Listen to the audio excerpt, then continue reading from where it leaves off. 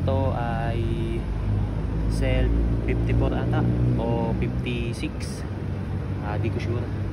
Pero most likely 54 na cell o 53 kasi magulo yung sizing ng cell na kung makikita nyo nirepaint ko siya ng pink. Hindi siya perfect sa smoothness pero mapapakita ko yung art nung ginawa ko na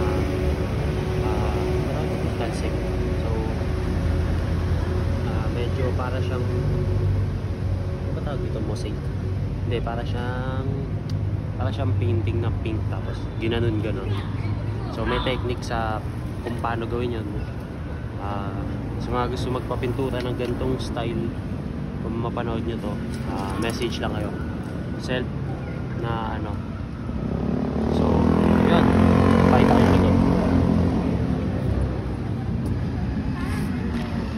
alam makita nyo yan so likod hanggang ano pati ilalim pala meron. Kompleto. Kaya yan. Saktong sakto sa Barbie season. Ah, ingat palagi park natin pakita ko lang